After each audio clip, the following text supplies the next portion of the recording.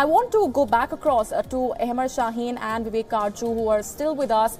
Uh, uh, you have also been talking about the harassment uh, that you yourself have uh, faced. Bring us an account of what it's really like to be a journalist in a country which is known to be one of the most dangerous countries to work in.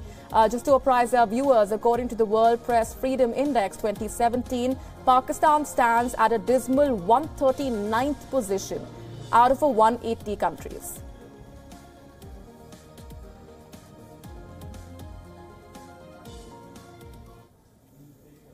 It's difficult to be a journalist at a place the more important it is to be doing journalism there because it's important to do it.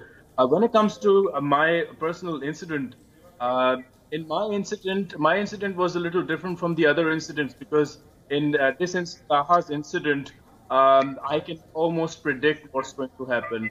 Miraculously, all the CCTV cameras are stopped, are not going to be working anymore. Eyewitnesses are not going to be present anymore. People are just going to go off the grid, witnesses and involved people.